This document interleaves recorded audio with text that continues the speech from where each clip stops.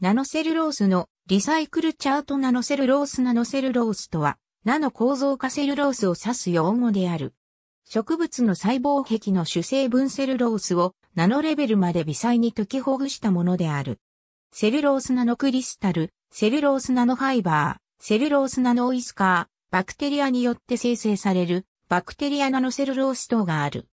ナノセルロースという語は、1970年代後半のアメリカ合衆国ニュージャージー州ホイッパニーの ITT レオニア研究所に所属するターベック、スナイダー、サンドバーグらによって初めて使用された。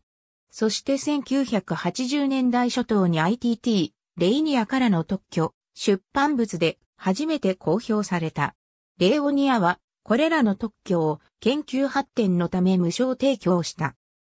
セルロースナノファイバーには製造方法によって最も基本となる単位である幅4ナノメートルのセルロースミクロフィブリル、それが数本の緩やかな束となって細胞壁中での基本単位として存在する幅。10から20ナノメートルのセルロースミクロフィブリル束、ミクロフィブリル束がさらに数十数百ナノメートルの束となり雲の巣状のネットワークを形成している。ミクロフィブリル化セルロースなどがある。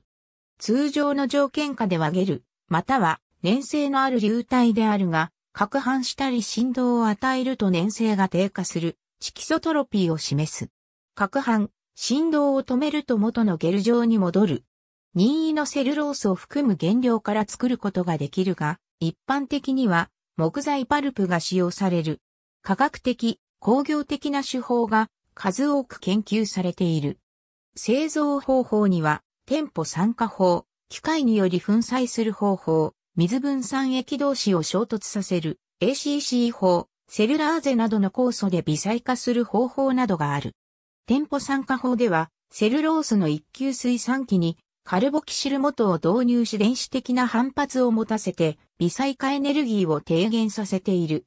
これを採用しているのは日本製紙第一工業製薬である。機械による微細化方法では大きな視野をかけて微細化することができるが、大きすぎる力で天然セルロースにダメージを与える欠点もある。